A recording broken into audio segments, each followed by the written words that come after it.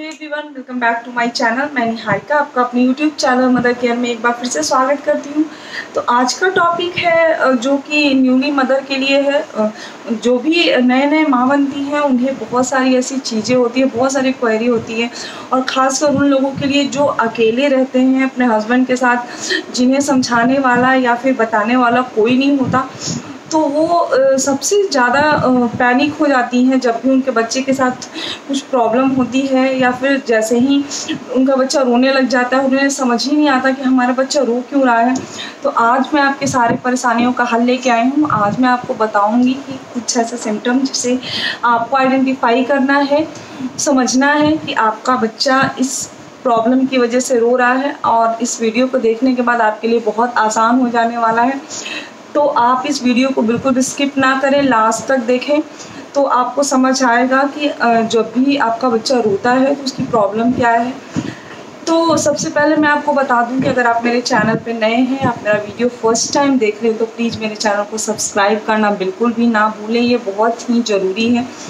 और इसमें कोई पैसे नहीं लगते ये फ्री ऑफ़ कॉस्ट है। आपको बस नीचे जो रेड कलर का सब्सक्राइब लिखा हुआ है उसे प्रेस करना है। उसके बगल में एक बेल आइकन होगा उसे भी दबा दें ताकि मेरे हर वीडियो की नोटिफिकेशन आप तक पहुँच पाए। तो चलिए वीडियो स्टार्ट करते हैं और बात करते हैं कि कौन कौन से ऐसे रीजन है जिसकी वजह से बेबी रोने लग जाता है। तो सबसे पहला जो रीजन है वो है आ, हंगर जो न्यू बॉर्न बेबी होते हैं, उनका जो स्टोमेज है, वो बहुत टाइनी होता है, वो बहुत जल्दी जल्दी इम्पटी हो जाता है। जैसे बच्चे ने पी कर दिया तो उनका पेट उन्हें उतना ही दूध पिया था या उतना ही फ़ीड किया था तो उसका पेट खाली हो जाता है वो उस वजह से भी रोने लग जाता है। तो आपको इस चीज़ पे ध्यान देना है। कि हर एक घंटे, डेढ़ घंटे पे आपको उसे फ़ीड कराते रहना है, क्योंकि वो बता नहीं सकता, वो बोल नहीं सकता कि उसे भूख लगी है तो आपको आइडेंटिफाई करना है, जैसे ही आपका बच्चा रोने लग जाता है। तो आप सबसे पहला जो काम करें, वो उसे फ़ीड कराने की कोशिश करें। अगर वो फ़ीड कराने से शांत हो जाता है तो आपको ये बात समझना चाहिए कि आपका बच्चा हंगरी है, वो इसी वजह से रो रहा है। उसके अलावा जो सेकंड प्रॉब्लम है, वो है स्लीपिंग आपका बच्चा अगर सोने के मूड में है और उस बात को आप समझ नहीं पा रहे हो, आप उसे सुला नहीं रहे हो तो वो तब भी बहुत रोता है। तो आपको इस बात के लिए भी ध्यान रखना है। वो अगर रो रहा है तो आप उसे फ़ीड करा के देखिए, क्योंकि बच्चे अक्सर फ़ीड करते करते सो जाते हैं, जो न्यू बॉर्न होते हैं। तो आप उसे फ़ीड कराएँ वो अगर सो रहा है तो उसे सोने दें, बिल्कुल भी डिस्टर्ब ना करें। क्योंकि जो न्यू बॉर्न होते हैं, वो सत्रह से अठारह घंटे सोते ही रहते हैं तो आपको इस बात के लिए परेशान नहीं होना चाहिए कि मेरा बच्चा बार बार सो जा रहा है। आप उसे अच्छे से सोने दें। तो ये दो मोस्ट इंपॉर्टेंट रीजन है जिससे बच्चे रोते हैं। उसके अलावा भी बहुत सारे रीजन हो सकते हैं।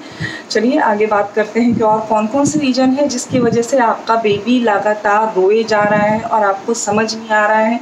आप पैनिक हुए जा रहे हो, आपको कोई बताने वाला नहीं है।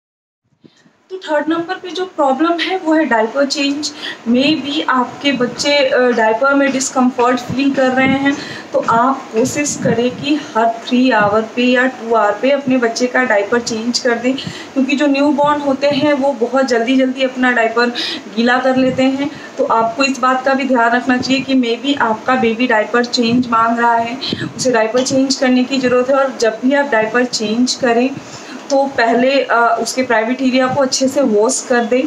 उसके बाद ही न्यू डाइपर अपने बच्चे को पहनाएँ। तो ये भी एक वजह हो सकता है, जिसकी वजह से आपका बच्चा लगातार रोए जा रहा है। आप ज़रूर चेक करें। आप एक बार डाइपर को चेक कर लें कि आपके बच्चे ने डाइपर गीला कर दिया है या गंदा कर दिया है। तो आप उसका डाइपर फटाक से चेंज करें।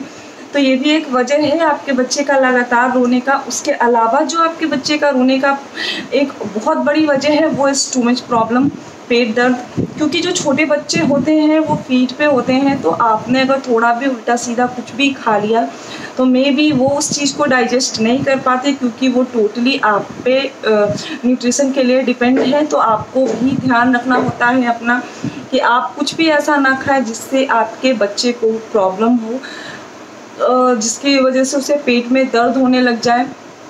तो ये भी एक बहुत बड़ा रीज़न है।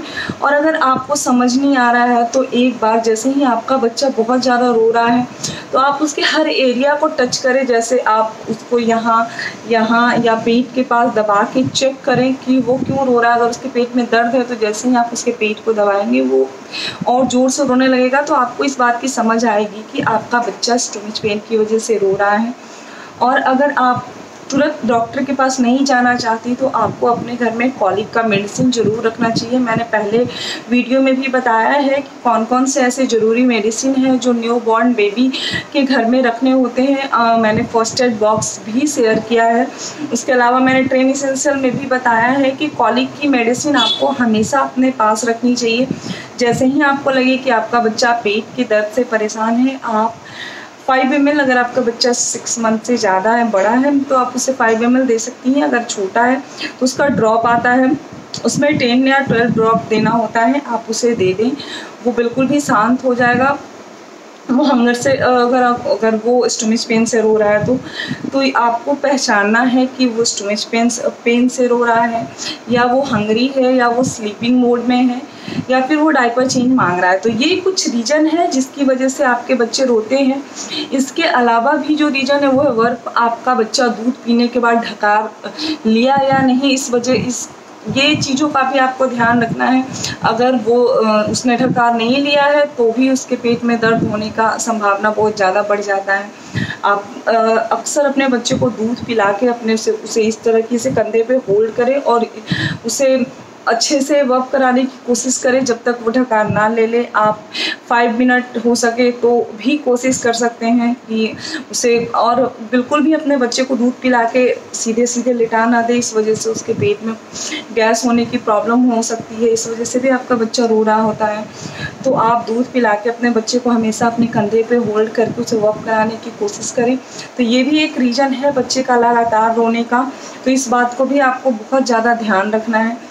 हम जो भी मदर्स होती हैं, उनकी रिस्पॉन्सिबिलिटी होती है कि वो अपने बच्चे पे बहुत ज़्यादा पैनी निगाह रखे, बहुत ज़्यादा ध्यान रखे किस, कि वो क्या कर रहा है, कौन सी बात उसको अभी प्रॉब्लम किस वजह से हो रही है।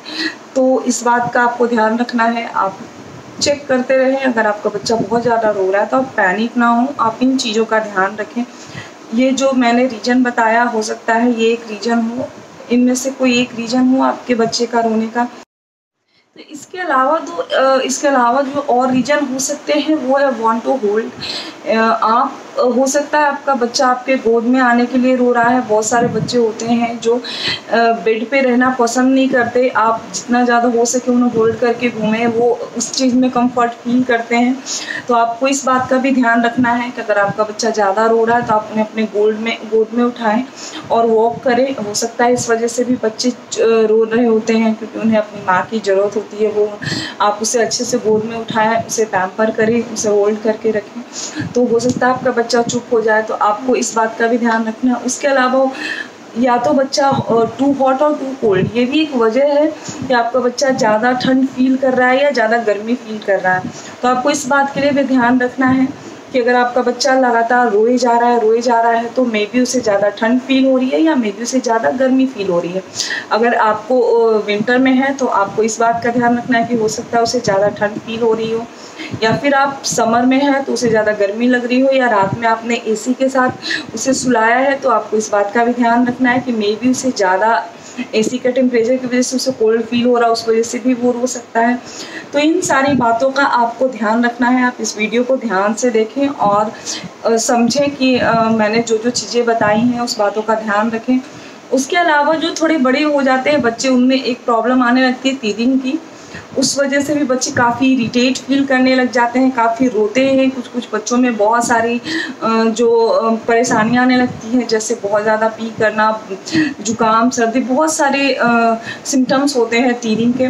तो आपको उस टीदिंग प्रॉब्लम को भी पहचानना है तो बहुत सारे नेक्स्ट आपको वीडियो मिल जाएँगे या फिर मैं भी एक वीडियो शेयर करना चाहती हूँ कि टीदिंग में बच्चों को क्या क्या प्रॉब्लम आती है और आपको उस प्रॉब्लम में क्या क्या सॉल्यूशन की ज़रूरत होती है। तो आपको टीदिंग की प्रॉब्लम आज के लिए आ, मुझे इजाज़त दें। मैं मिलती हूँ आपसे नेक्स्ट वीडियो में। कुछ और इन्फॉर्मेशन के साथ तब तक के लिए मेरे वीडियो को लाइक करना और मेरे चैनल को सब्सक्राइब करना बिल्कुल ना भूलें। आज के लिए मुझे इजाज़त दें। Bye and take care